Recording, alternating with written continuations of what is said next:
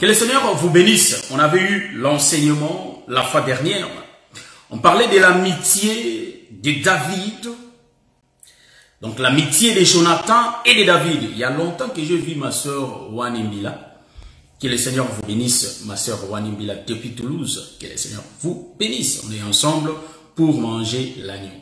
Partagez la vidéo. Je salue l'homme de Dieu, Clément Mosende. Que le Seigneur vous bénisse. Donc, nous sommes en train de continuer notre enseignement. L'évangile éternel, frère.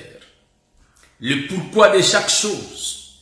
Les comment de chaque chose. Le temps de chaque chose. Voyez-vous Donc, le Seigneur nous fait la grâce de manger Jésus dans son entièreté. Car c'est lui qui ne mange pas le Seigneur n'aura pas la vie en lui-même. C'est ce que nous dit le livre de Jean chapitre 6. Donc, la fois dernière, on a fini avec l'enseignement qu'on avait commencé sur l'amitié de David et de Jonathan qui parlaient de Christ. On a essayé un peu de faire ça en 16 parties. Le Seigneur nous a fait la grâce. Mais jusque-là, je suis reconnaissant que j'ai toujours pas pu expliquer Saül, il est l'ombre des eaux de Noé, c'est-à-dire les eaux de Noé qui tuent le peuple, voyez-vous? Donc ça, j'avais pas expliqué. Je me suis rendu compte après que j'avais pas expliqué cela. Mais par la grâce de Dieu, dans cet enseignement, nous allons le prendre aussi, essayer un peu de l'expliquer, comment Saül était devenu les eaux de Noé qui avaient tué le peuple. Voyez-vous?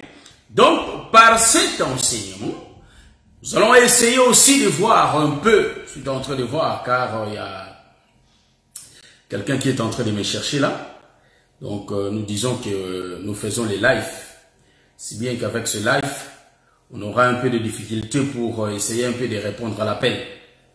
Donc voilà, c'est un peu ça. Donc en réalité, Noé, c'est les eaux.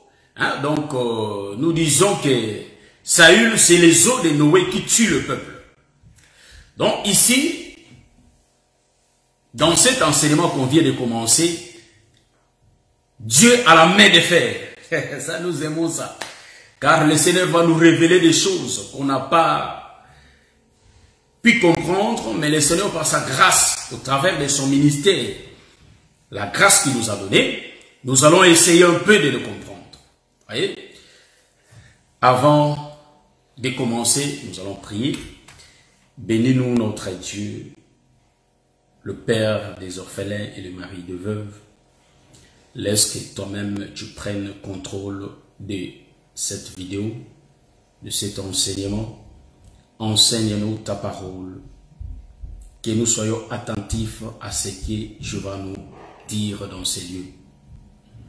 Hôte éternel, mon Dieu, mon roi, loin de nous toutes sortes éternelles de distractions, que cela soit loin de nous, éternel, au nom de Jésus. Accompagne-nous, éternel, mon Dieu, mon roi, durant toute la marche qu'on va faire dans cet enseignement, dans les noms puissants de Jésus, on a ainsi prié. Amen. Oui, euh, je vous shalom, nous allons prendre l'écriture. Et comme nous allons prendre l'écriture, nous n'allons pas directement commencer à expliquer, mais on va faire la lecture. Nous sommes dans les livres des 2 Samuel. Nous prenons les livres des 2 Samuel. Moi, je prends l'écriture. 2 Samuel, chapitre 23. Nous allons lire le verset 6 et 7. C'est ça la base, c'est-à-dire le verset clé de notre enseignement. Mais les méchants sont tous comme des épines que l'on rejette et que l'on ne prend pas avec leurs mains. C'est lui qui les touche, s'arme de fer ou du bois d'une lance et on les brûle, on les brûle au feu sur place. Je reprends la lecture. Nous sommes dans le livre de 2 Samuel, chapitre 23, les versets 6 à 7. Mais les méchants sont tous comme les épines que l'on rejette et que l'on ne prend pas avec la main. C'est lui qui les touche, s'arme d'un fer ou du bois d'une lance. Et les et on les brûle au feu sur place. Amen. Voilà, c'est ça en réalité lecture de base de notre enseignement. Nous avons bien lu que l'enseignement nous présente des méchants. La Bible dit que les méchants sont comme des épines. Quand on parle de méchants, nous comprenons qu'on est en train de parler des hommes. Voyez-vous Mais la Bible utilise ces expressions pour essayer un peu d'expliquer le méchant, pour essayer un peu d'expliquer le peuple qu'on appelle le méchant. Mais avant d'entrer dans le bain de notre enseignement, je salue mon bien-aimé Antonio Kitoko, que le Seigneur nous bénisse. On est rare ces derniers temps, nous allons faire euh, tout par la grâce de Dieu pour qu'on puisse se parler. Après même euh, les lives, que le Seigneur vous bénisse. Donc, ici, nous disons que Dieu a la main de fer. Vous voyez? Donc ici, vous allez comprendre que avant que nous entrons dans notre bain de l'enseignement, nous allons d'abord toucher Saül étant les eaux de Noé qui tue le peuple. Vous voyez? Ça, je n'avais pas expliqué. Pourquoi nous avons dit que Saül, c'est les eaux de Noé qui tue le peuple Voyez-vous que Saül, sur la montagne de Gilboa, Saül était sur la croix.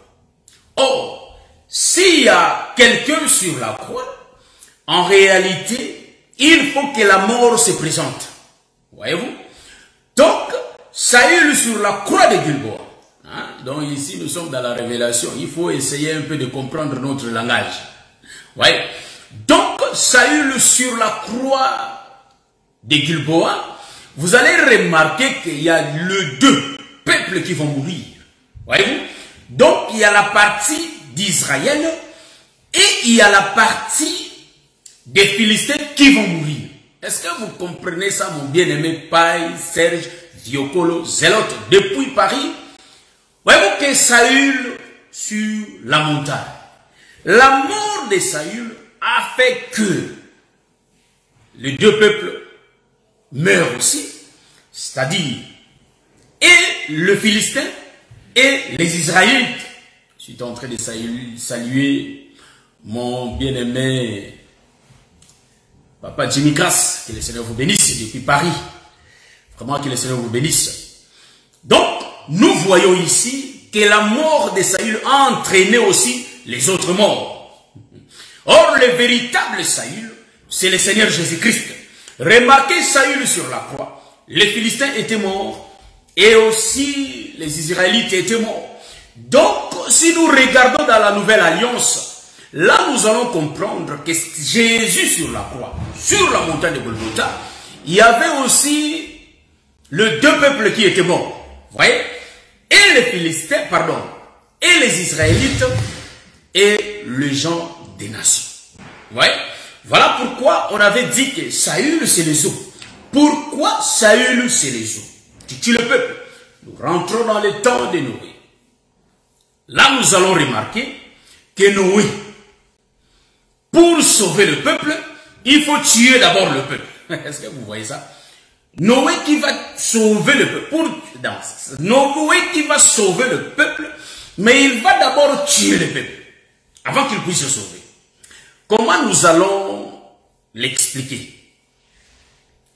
Noé, l'Éternel va visiter Noé le Seigneur va dire à Noé de construire l'arche parce que la pluie va venir.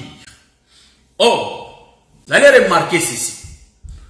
Pour que la pluie tombe, il faut que Noé, en réalité, construise d'abord l'arche. Si l'arche est finie d'être construite, hein, est finie d'être construite, en réalité, le Seigneur va faire pleuvoir la pluie.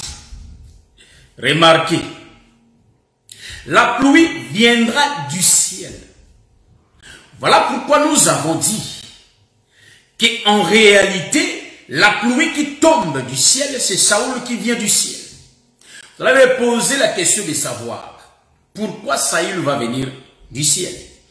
Saül, en réalité, n'était pas un homme de la terre.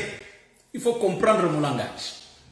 C'est pourquoi l'Éternel va dire à Samuel, le prophète, de prendre Saül comme roi, d'établir Saül comme roi pour, pour son héritage.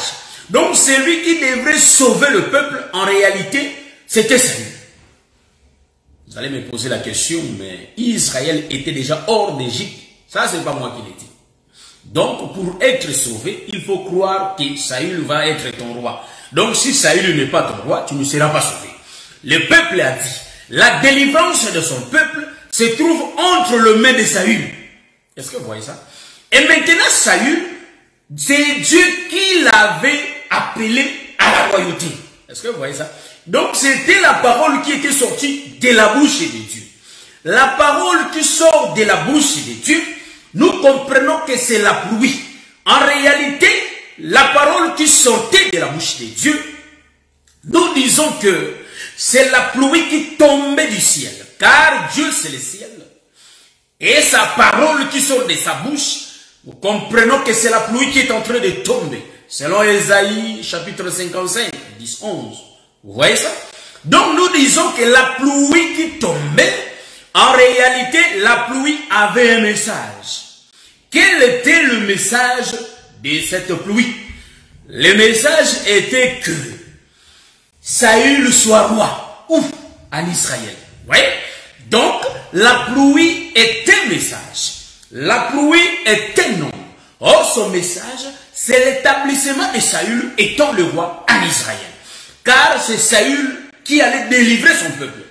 Voilà pourquoi, quand Jésus était né, l'ange était venu pour proclamer la nouvelle que le sauveur était né. Voyez-vous? Donc, le sauveur qui était né, il ne sauve pas seulement comme ça. Pour sauver, il faut qu'il tue d'abord. Voilà pourquoi les femmes vont chanter que Saül a tué ses mille, David ses dix mille. Donc, pour sauver le peuple, il faut tuer. C'est pourquoi l'eau de Noé était tombée. Quand l'eau tombait, pour que l'eau là puisse aussi sauver le peuple. Or, l'eau de Noé qui tombait, c'est ce qu'on typifie, c'est ce qu'on typifie Saül. Pourquoi Saül? Vous savez que la Bible dit que l'eau, c'est la parole.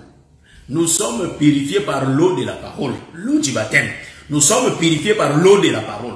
Donc, le peuple était purifié par l'eau. Voyez-vous? Donc, la pluie qui tombait, c'était un homme qui tombait pour tuer. Or, l'homme qui tombait, il venait du ciel. C'est ainsi que l'établissement de Saül était venu de Dieu, était venu du ciel. Hmm? Il faut dire que non, euh, docteur, mais nous voyons que Dieu avait rejeté Saül. Il avait même regretté de créer. Ça, on va toucher ça. Ça, c'est une autre autoroute. Nous sommes dans cette autoroute-là, là, là que nous sommes. Et je tiens à rappeler le peuple. Vous savez que quand on ne comprend pas bien une révélation, on peut croire qu'on est en train de taper à côté. Mais on ne tape jamais à côté parce que nous avons des témoins qui nous soutiennent. Ce sont les Écritures. Voyez-vous? Ce sont les Écritures qui rendent témoignage de Jésus. Donc ici, vous allez comprendre que Jésus, pour sauver le peuple, il a d'abord aussi tué. Hein, nous sommes en train de venir. Après, nous allons entrer dans le bain de notre enseignement d'aujourd'hui. Remarquez. Ici, l'eau qui tombe. Remarquez que l'eau, quand l'eau tombait, l'eau avait tué et les Juifs, et les Israélites, et le païen. Est-ce que vous remarquez ça? Dans le temps de Noé, l'évangile de Noé n'avait pas sauvé tout le monde. L'évangile de Noé avait sauvé que le peuple dont Noé avait choisi. Est-ce que vous comprenez ce que je suis en train de dire? Quand la pluie tombait, la pluie de Noé, c'était l'eau qui est la parole, l'évangile qui était venu. Or, l'évangile qui était venu, tout le peuple n'avait pas accepté cet évangile. Le peuple qui ont été, c'est-à-dire les peuples qui ont été morts, ce sont le peuple qui ont régné la pluie. Ils n'ont pas accepté la pluie. Ils n'ont pas accepté l'évangile. La pluie de Noé, c'est l'évangile, c'est le message que le peuple n'ont pas voulu suivre. L'évangile de Noé, c'était quoi? D'entrer dans l'arche. Est-ce que vous voyez ça? Donc, pour que le peuple soit sauvé au temps de Noé, il faut entrer dans l'arche. Voilà pourquoi nous sommes en train de dire à Kitty, je descends, nous sommes en train de dire, aujourd'hui, dans ces derniers temps, pour être sauvé, On n'a pas besoin de l'évangile des frères X ou de la sœur X. Non, non plus. Voyez-vous? Donc, nous avons besoin de l'évangile de Christ. Est-ce que vous voyez ça? L'évangile de Christ, c'est ce qui sauve. L'évangile des autres prophètes là ne sauve pas. Est-ce que vous comprenez les bien L'évangile des autres prophètes ne peut jamais sauver. Mais l'évangile qui sauve, c'est l'évangile de Jésus-Christ. Voyez-vous? L'évangile de la grâce, l'évangile de paix, l'évangile de Jésus-Christ. C'est l'évangile éternel. C'est l'évangile qui sauve. Vous voyez? Les messages de Noé, il faut entrer dans l'arche. C'est pourquoi nous aussi nous disons aujourd'hui, il faut que nous entrions dans l'arche qui est l'évangile. Est-ce que vous voyez ça? Parce que quand cet évangile est en train de tuer, ça ne va pas nous tuer. C'est pourquoi vous allez remarquer que quand l'eau était tombée, ceux qui étaient dans l'arche étaient sauvés.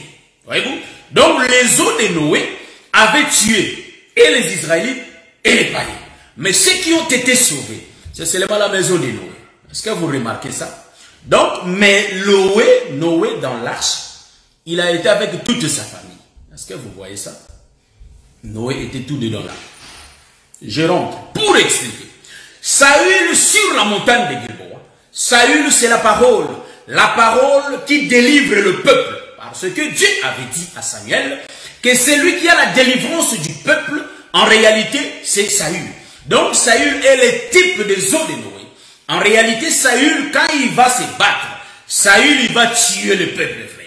Saül, il va tuer le peuple. Vous allez remarquer quand Saül était mort, Saül n'était pas mort seul. Saül était mort avec ses trois enfants. Mais remarquez une chose, la mort de Saül a entraîné la mort des Philistins et la mort des Israélites. Voyez-vous? Donc Saül avait tué les deux peuples. Mais remarquez, il y avait aussi le peuple qui ont été sauvés. Et si nous sommes en train de dire dans cette route, le peuple qui ont été sauvés, ce sont le peuple qui n'était pas mort quand Saül était mort, voyez-vous, ce sont eux qui étaient sauvés. Donc nous disons qu'ils étaient dans l'arche. Et le peuple, en réalité, au, coin des Philistins, et aussi n'était pas mort. Tous ceux qui étaient restés vivants, ce sont les gens qui ont été sauvés par rapport à la révélation dont nous sommes en train de toucher, étant Saül, les eaux de Noé qui tuent le peuple. Voyez-vous Mais remarquez Jésus sur la croix.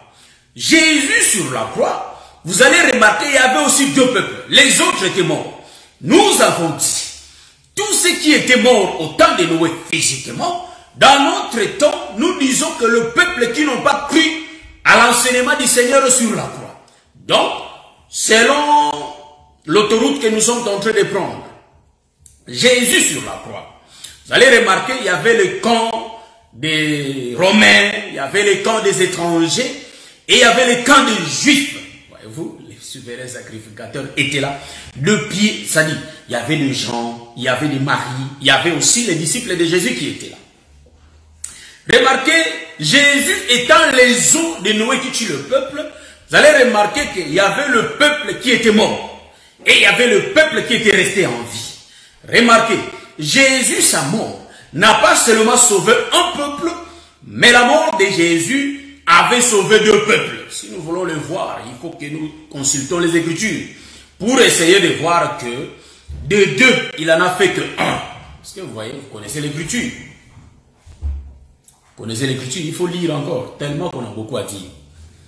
Il faut lire, nous connaissons l'Écriture. Pour faire asseoir la chose, le frère Paul dit, de deux, il en a fait que un. Bon, rapidement, je vais prendre cette écriture. Hein? Rapidement, je vais prendre, j'utilise le GSM du portable. Donc, de 2, je cherche ça. Il en a fait un. Donc, euh, remarquez rapidement. Voilà, nous allons chercher l'écriture. Nous sommes dans l'Éphésiens. Hein? Éphésiens chapitre 2, le verset 14. Éphésiens chapitre 2, le verset 14.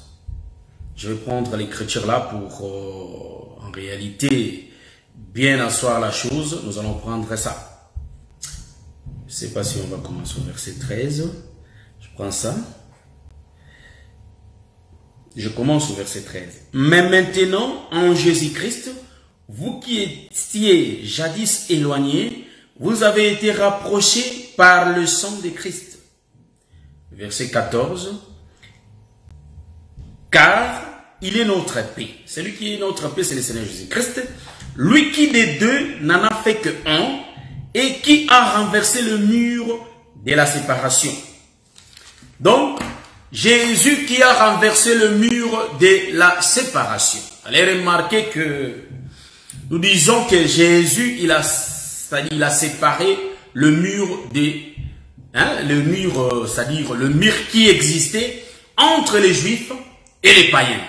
Vous voyez, vous remarquez Donc, de deux peuples. Quand on parle de deux peuples, on parle et Israël et les nations. C'est ainsi que vous allez remarquer, devant Jésus, sur la croix de, Golgotha, sur la montagne, vous allez remarquer que les disciples étaient là, et les pharisiens aussi étaient là. Vous allez remarquer aussi que le soldat romain était là. Ce n'est pas tous les soldats qui ont cru. Je vais expliquer euh, ce que euh, je vais expliquer maintenant. Hein, vous allez m'excuser, je cherche à lever. Il y a quelque chose qui se présente qui m'empêche de bien parler. Donc, en réalité, vous allez remarquer que sur la croix, excusez, vous allez remarquer que sur la croix, il y a des gens qui m'appellent, vous allez m'excuser, il y a des gens qui m'appellent, j'ai reçu des appels et tout. C'est pourquoi ça me distrait un peu. Vous allez m'excuser. Donc, vous allez remarquer que sur la croix, il y avait ces deux peuples. Remarquez, au camp des Romains, il y a seulement un qui représente, il y a seulement un qui représente tout le peuple des nations. Et au camp des Juifs, vous allez remarquer que c'est le camp des disciples de Jésus qui ont représenté ce peuple qui était dans l'arche. Voilà pourquoi vous allez remarquer, et les hommes, et les animaux, et tous étaient dans l'arche. Donc, dans l'arche, on avait deux peuples. Et le peuple, et les, et les juifs, et les animaux. Donc, Israël et les nations. Les animaux, l'ombre des nations, et Israël, l'ombre des hommes qui était avec euh, Noé. Vous allez remarquer. Or, sur la croix, les choses se présentent sur la croix.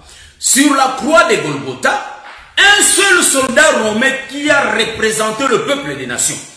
Quand il a percé les Seigneurs, je crois bien que c'est ça. C'est longtemps que j'ai lu l'écriture, mais je crois que c'est ça. Et vous allez remarquer que ce soldat a dit, quand Jésus a rendu l'âme, il a dit, celui-ci était vraiment l'enfant de Dieu. Donc cet homme a cru à la parole que Jésus était vraiment l'enfant de Dieu. Nous disons que cet homme avait cru à l'arche, car Jésus c'est lui l'arche. Donc Jésus c'est lui Saül. Et remarquez encore, de l'autre côté des Israélites, vous allez remarquer Marie, Jean, le disciple de Jésus, ce sont eux qui étaient dans l'arche. Donc nous avons vu que sur la croix, il y a Jésus et les soldats romains, ça dit pardon, il y a les juifs et les soldats romains qui ont été sauvés. Voilà pourquoi nous disons que la mort de Jésus a fait de sorte que les deux peuples soient sauvés. Voyez-vous? Donc, Jésus étant la pluie, Jésus étant la pluie qui était venue du ciel pour tuer les peuples et pour sauver. Donc, Jésus était venu pour tuer et pour sauver.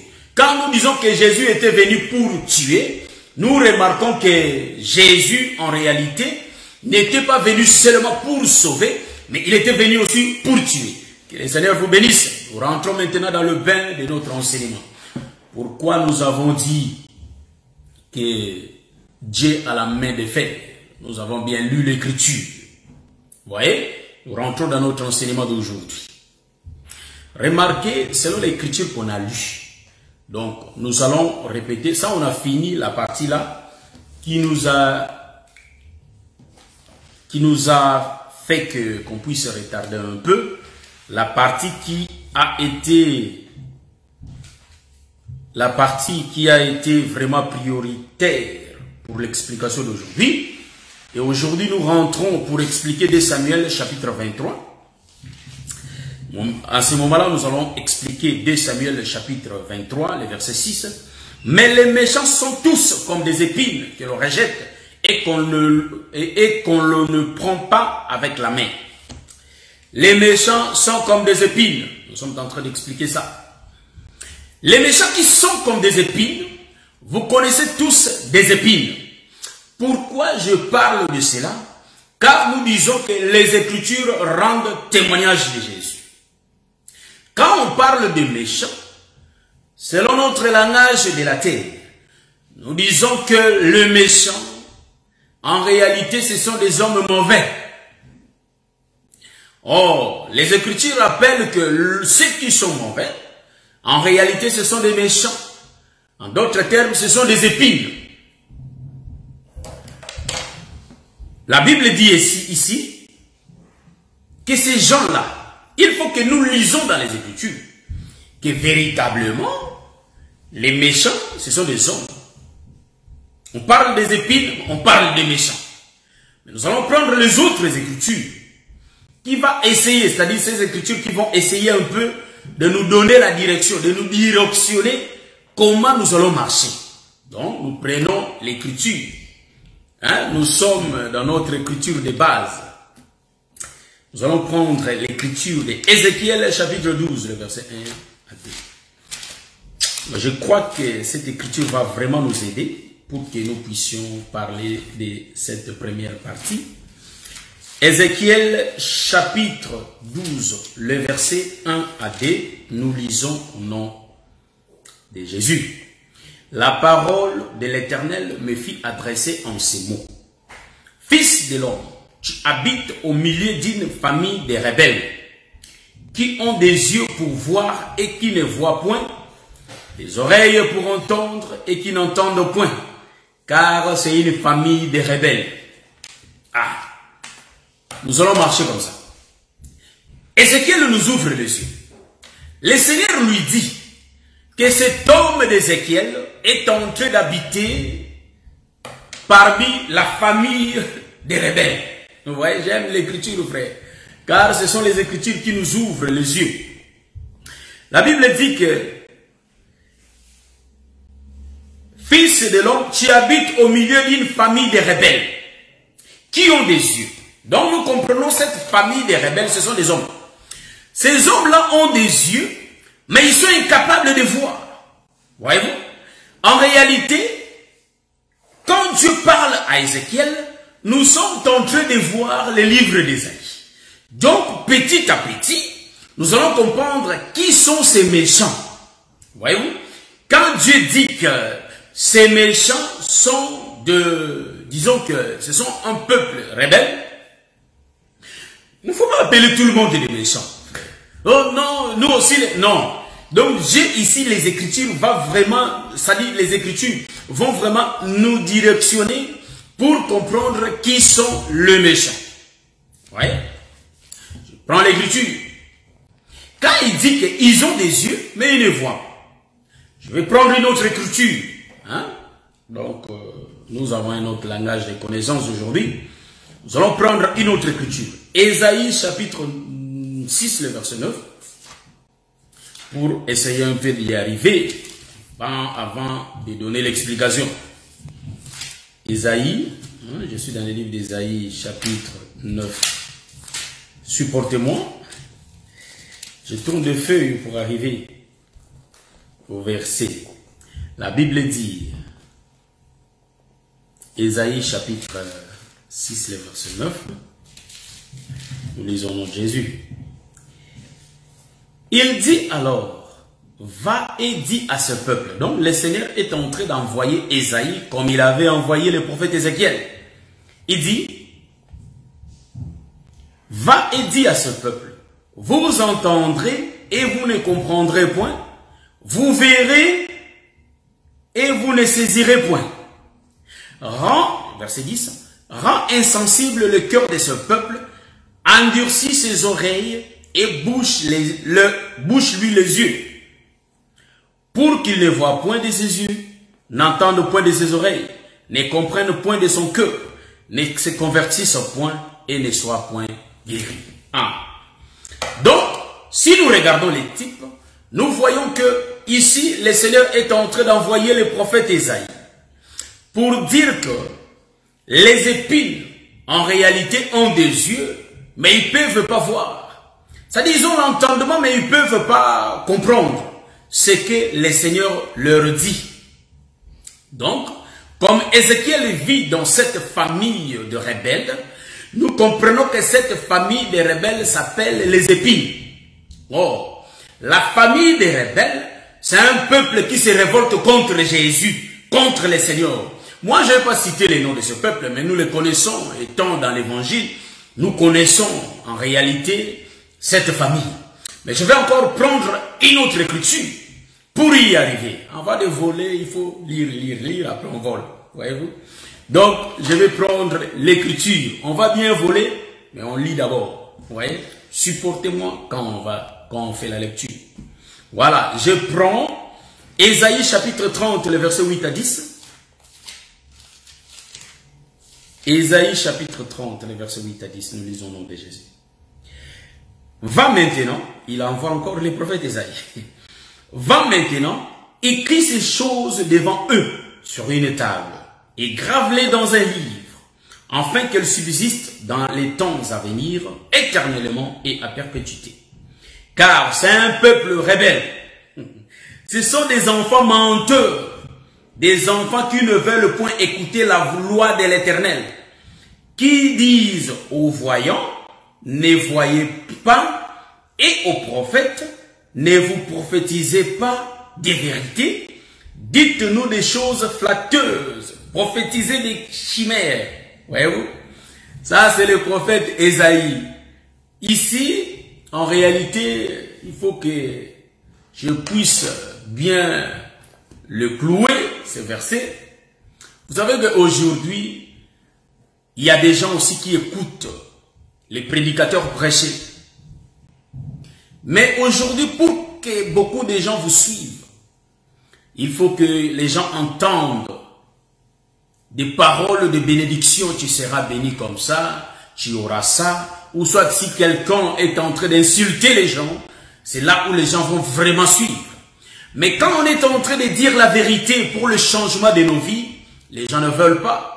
La Bible dit ici dans le livre d'Ésaïe, on a cité donc des menteurs, des gens qui mentent pour salir les réputations des gens. Vous savez qu'aujourd'hui, nous avons des gens, quand je vais prendre les frères Serge, les frères Paille, Serge, Bioko, le zélote, je les tale là.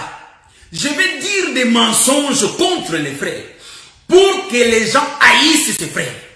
Tous ceux qui mentent ce genre de choses, ce sont des rebelles.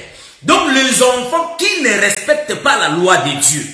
Ici, le prophète est parti pour donner les messages. Mais il y avait un peuple qui disait au prophète, en réalité, prophétise, ne nous parle pas dans la vérité, mais prophétise-nous des choses flatteuses. Donc, des choses qui rendent un peuple, c'est-à-dire les choses qui donnent le peuple la joie. Voyez-vous, les choses comme tu auras le mariage, tu auras ça, tu es en train de vivre bien, tu, c'est-à-dire tu vis une vie de péché, mais je ferme, étant l'homme de Dieu, je ferme les yeux. Quand je ferme les yeux, ah, Dr. Guy est bien vraiment, Dr. Guy vraiment c'est vrai. Mais non, en réalité, un homme de Dieu ne peut pas être aimé par le peuple. À tout moment, tu es aimé par le peuple. Nous allons comprendre que là, l'homme de Dieu n'est pas dans la vérité. Donc, l'homme de Dieu s'est dérouté de la vérité.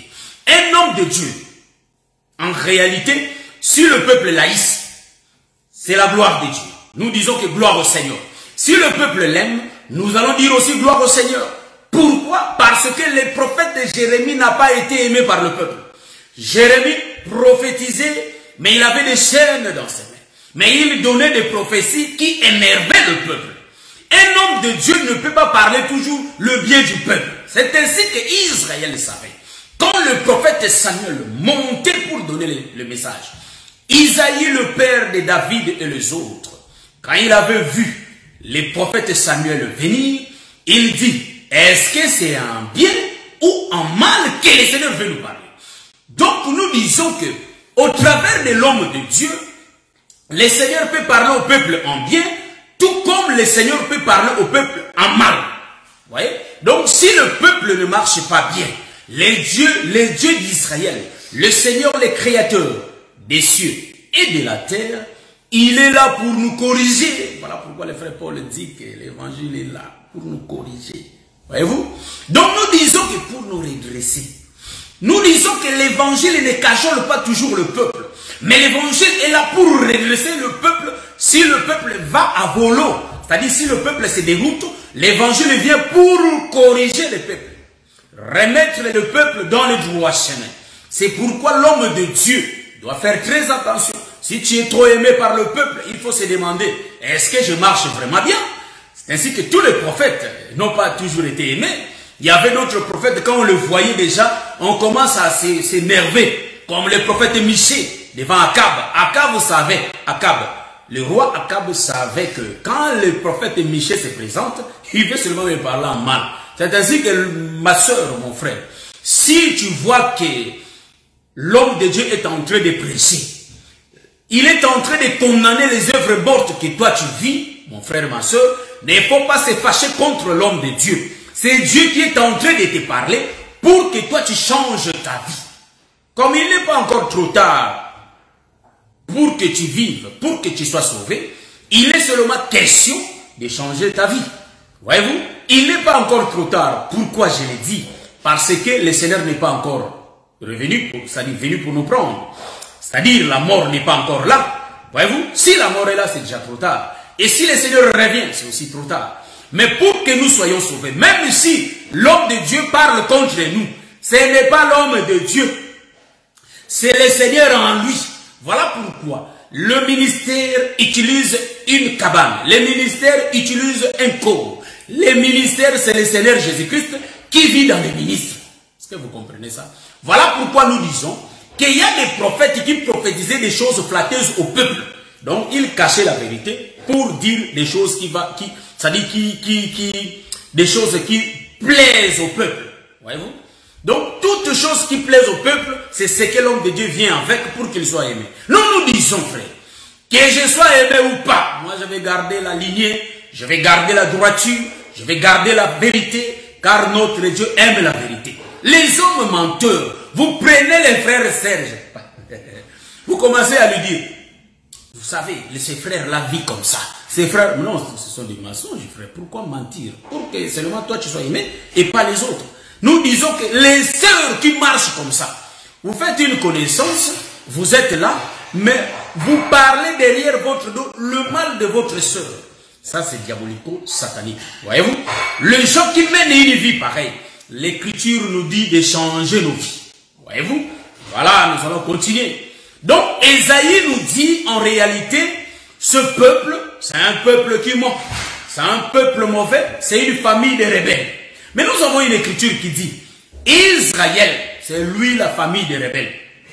Voyez-vous Nous allons maintenant essayer de monter petit à petit.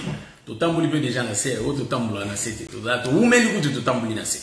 Ouais Donc on a mis longtemps, nous allons marcher seulement comme les Autriches. Maintenant, il faut que nous puissions voler un peu comme des aigles, vous voyez Car la révélation, c'est les dons que le Seigneur nous a fait. Voilà pourquoi le Seigneur nous a fait. Voilà, c'est pourquoi nous allons essayer un peu de voler. Voilà. Donc, vous allez remarquer, il y a une écriture que je vais prendre rapidement, l'écriture de Deutéronome. Là, ça va nous dire que c'est vraiment Israël. Deutéronome chapitre 9, je crois. Ouais, Deutéronome chapitre 9, le verset 7. Lisons rapidement pour que nous ayons vraiment cette facilité de voir que c'est Israël. Voilà. Donc, Deutéronome chapitre 9, le verset 7, est-ce que c'est ça?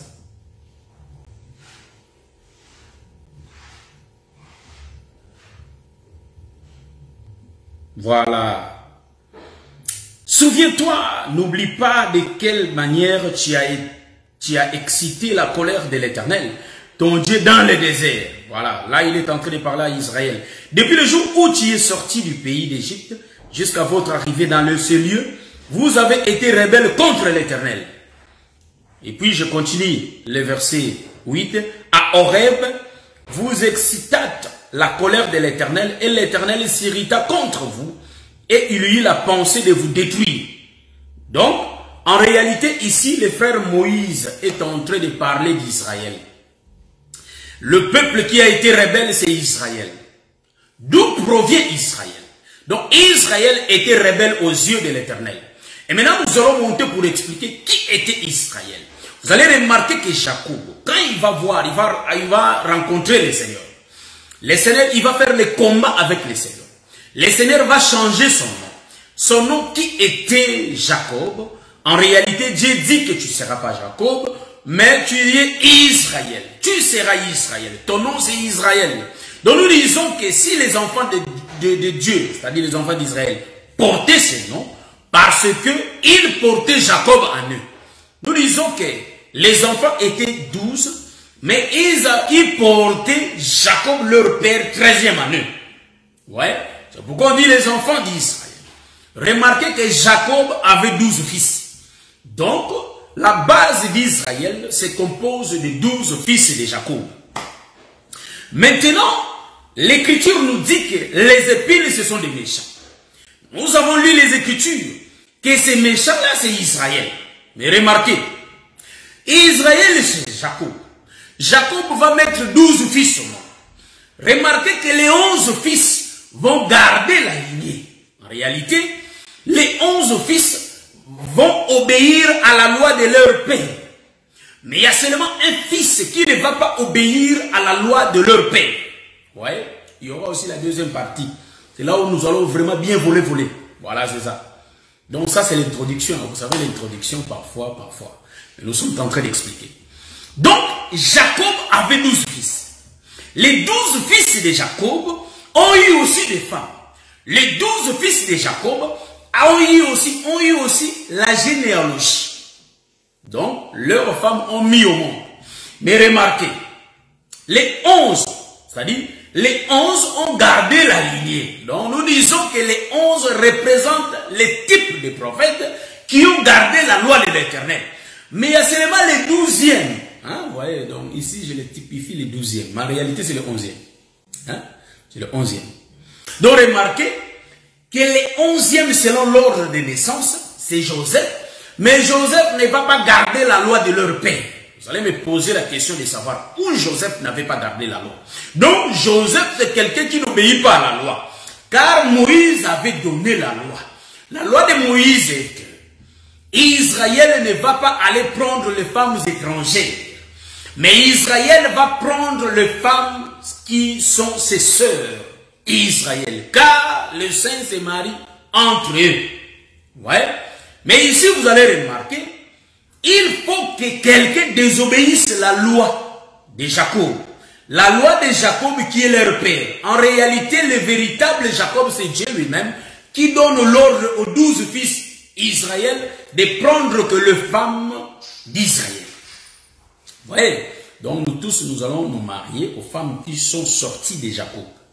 Car Jacob avait des filles et il avait des fils. Mais Jacob a seulement cité des fils. Je rentre pour donner l'explication. Vous allez remarquer, il y a Joseph en réalité qui va descendre, quitter le ciel et descendre. Donc ici nous typifions, Cana c'est le type du ciel. Là où Joseph vivait, pardon, là où Jacob vivait avec ses douze fils. Vous savez que là où Jacob vivait avec ses douze fils, pour voir ces choses que je suis en train de parler, il faut prendre les livres de Jérémie. Là où Jérémie était là pour instruire tous les prophètes. Nous disons qu'avant que les prophètes descendent sur la terre, ils étaient dans le ciel. Ils étaient tout autour d'une même table. Voilà pourquoi le Seigneur Jésus-Christ était descendu sur la terre et il s'asseyait sur la même table avec ses disciples. Donc, c'est pas nouveau car l'Éternel le faisait déjà quand ils étaient dans le ciel. Car le plan de la rédemption a été tracé avant même le commencement du monde. Voilà pourquoi nous nous étions dans la pensée de Dieu, car Dieu, quand Dieu établissait ces choses, remarquez, dans le livre de Jérémie, nous allons comprendre que Dieu était assis ensemble avec tous ses prophètes. Or, le prophète dont Dieu était assis ensemble, ce n'était que les douze prophètes. Voilà pourquoi en Israël, il n'y a eu que douze prophètes qui, se sont présentés en Israël. Nous disons que les douze prophètes, en réalité, ont écouté la voix de Dieu. Les douze prophètes ont entendu ce que Dieu leur avait instruit. Mais quand ils étaient descendus sur la terre, nous allons comprendre que ces douze prophètes, en réalité, n'ont pas obéi à la loi de l'éternel. Est-ce que vous voyez ça? Les douze prophètes n'ont pas obéi. Or, tous les douze, c'est-à-dire tous les onze ont obéi. Hein, ouais, à la mission de Dieu. Mais il y a seulement un. Qui est Joseph Nous disons que Israël qui est Cana, Cana c'est le ciel, et Égypte c'est la terre. Remarquez. Joseph va descendre sur la terre. Mais Joseph, en réalité, ne va pas rester seulement avec la femme du ciel, mais Joseph, en réalité, il va venir chercher la femme sur la terre. Hein, nous sommes en train d'emprunter une autoroute jamais utilisée, mais nous allons l'effrayer pour l'utiliser. Or, les Joseph, là, c'est les types. Hein, moi, je prends les trois. Joseph, c'est les types, les types d'Ésaü. Ésaü, le type de Christ. Ah, ça, ça, hein, c'est l'autoroute jamais utilisée mais nous nous utilisons. En réalité, Saül, c'est le type de Joseph. Hein, ici, nous disons que Saül, c'est le type de Joseph. Pour voir ces choses, hein, pour voir ces choses, il faut que nous lisons Isaac. Isaac, nous connaissons l'écriture, donc euh, si on lit, on va prendre du temps. Isaac, en réalité, c'est lui qui donna la loi. Il va dire à Esaïe que vous ne pouvez pas prendre des femmes ici à Cana il faut en réalité aller chez nous pour prendre des femmes. Donc, aller chez nous pour prendre des femmes, c'était la loi qui était sortie de la bouche d'Isaac. Or, Isaac, c'est le type, le type de Dieu qui donne la loi. La loi est quoi? Qu'un prophète ne peut pas enseigner un étranger. Donc, prendre les femmes étrangères, en réalité, c'est enseigner les étrangers. Vous voyez l'autoroute que j'ai pris? Donc, ici, vous allez comprendre que celui qui avait obéi à cette parole, ce n'était que Jacob. Or, Jacob, c'est le type de prophète du temps du matin qui ont respecté la loi d'Isaac. La loi d'Isaac était de prêcher seulement Israël. C'est pourquoi le prophète Jacob était descendu chez Laban pour aller prendre les enfants de Laban. Vous allez me demander, me poser la question. Donc, mais il y avait aussi des servantes, des, des servantes de Léa, des servantes de Rachel. Nous disons que, nous avons l'écriture, frère, si tu as un étranger chez toi, hein, vous voyez, il faut qu'on puisse lire un peu Moïse pour voir ces choses. Est-ce que vous voyez ce que je suis en train de dire? Il y a une loi, si tu héberges un étranger, l'étranger peut accéder au lois. Est-ce que vous voyez ça?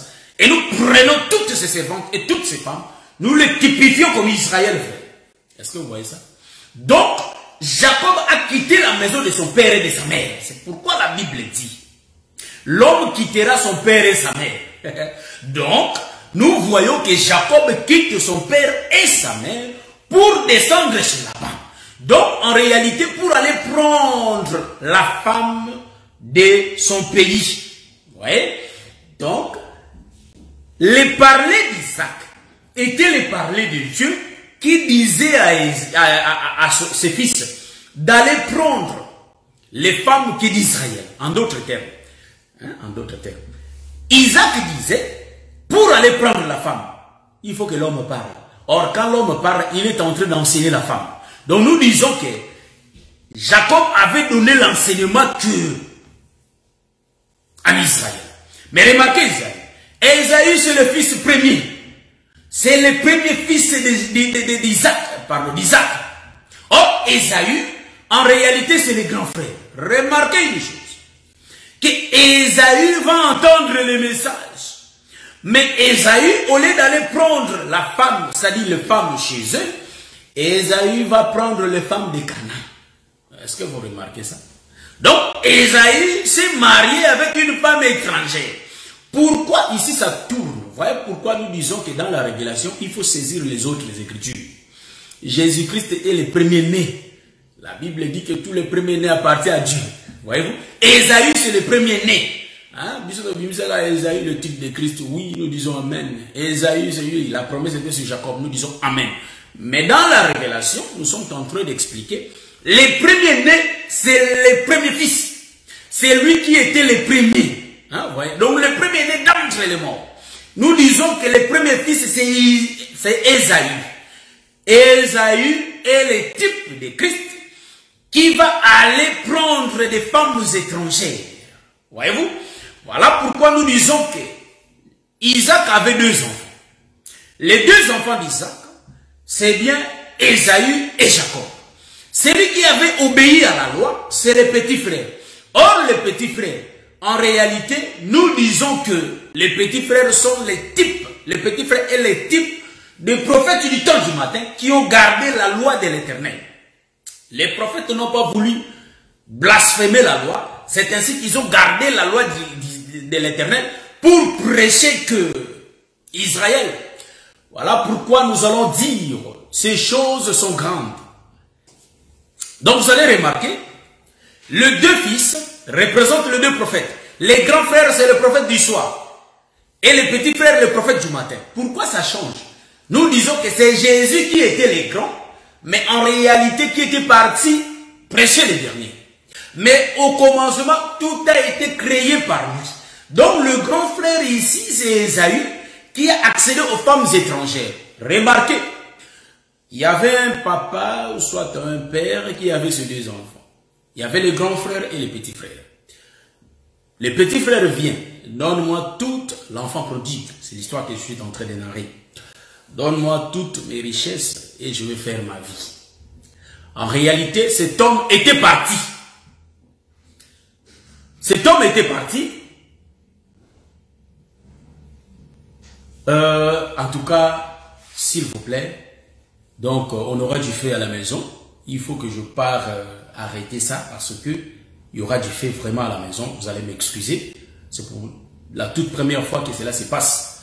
Mais là où je suis euh, plein de fumée, bientôt je commence à tousser. Il y a de l'huile sur le feu. Donc je crois que ça va vraiment déranger. Je vous demande mes excuses et je vais les faire vite. Que le Seigneur vous bénisse.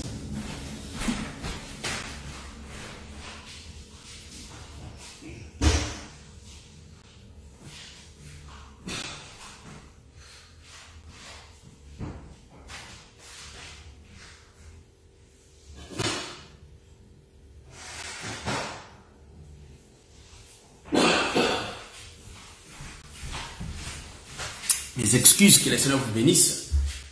Donc, euh, voilà, je l'ai arrêté vite.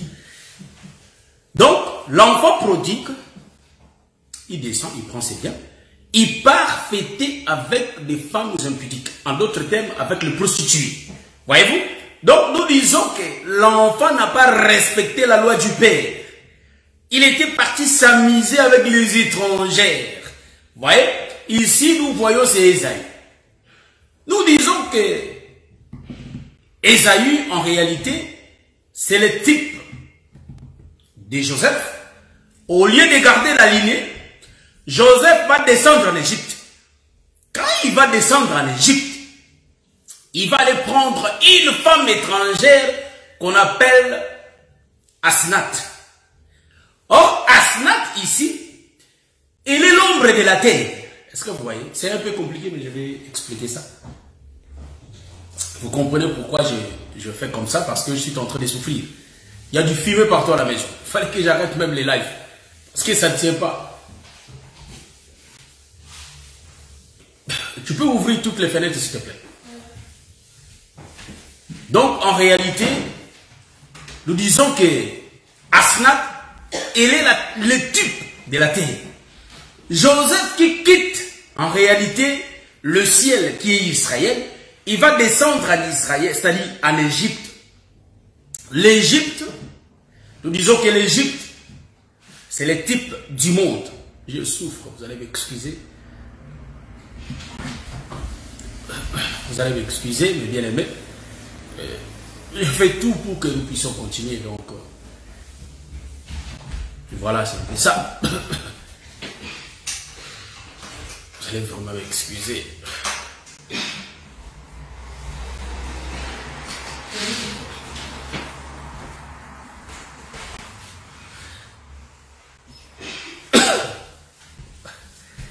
Mes chers, euh, que le Seigneur vous bénisse. Je crois qu'on va se voir euh,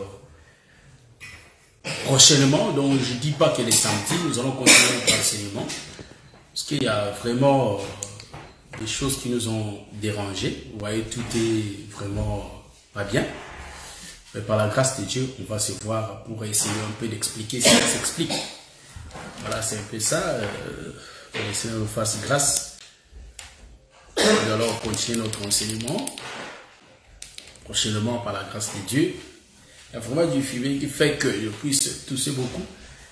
par la grâce de Dieu, on va continuer. On est en train d'expliquer ça. Aujourd'hui, c'est l'introduction. Dieu a la main de fer. Ça, on va expliquer ça. Israël, c'est les épines. On va y arriver pour donner des révélations.